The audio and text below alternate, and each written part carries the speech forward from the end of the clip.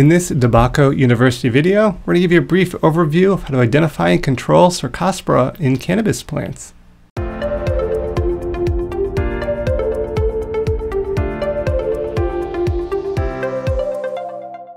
So Cercospora is not unique just to cannabis, but this is kind of what it looks like uh, in cannabis. And on a microscopic view, this kind of looks like this long, straight little like thread almost or worm looking like thing. So first off, how do you go about properly identifying it in cannabis plants? Well, it starts as kind of small yellow uh, flecks developing into lesions, which turn into light tan or white with yellow halos.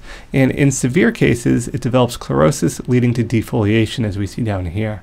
The infection begins on older leaves and moves through the canopy from there.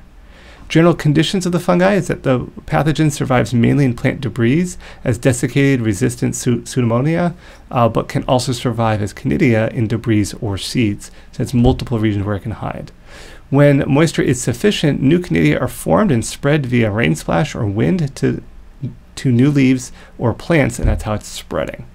Optimum conditions are 77 to 95 degrees Fahrenheit with nighttime temperatures above 61 degrees Fahrenheit and a relative humidity of 90 to 95%.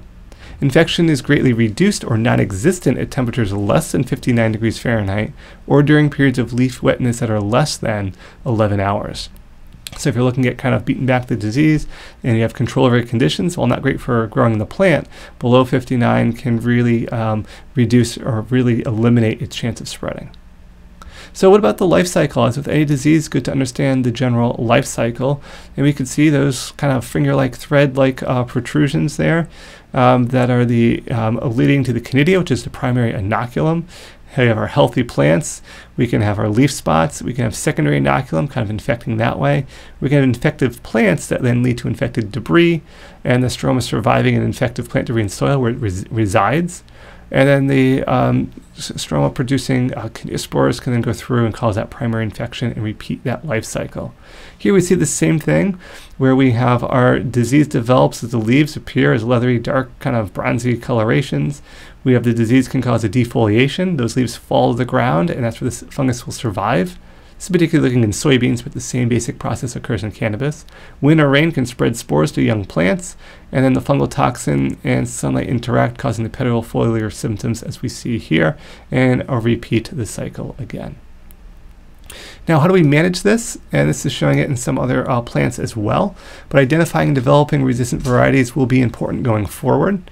Three-year rotation in outdoor fields that have had a positive identification of the fungus. Avoid planting sugar beets near cannabis because they definitely are more prone to this and that could potentially cause an increase in the local pressure. So be mindful of what it is, what it looks like, how to identify it. Uh, may not have be able to identify it in the microscopic level, but hopefully these descriptions as well as macroscopic pictures provide you with a little bit of understanding, and you can kind of hopefully not plant sugar beets near the area, rotate if you can, and try as a way of methods of of management to mitigate the negative impacts Cercospora can have on your cannabis plants.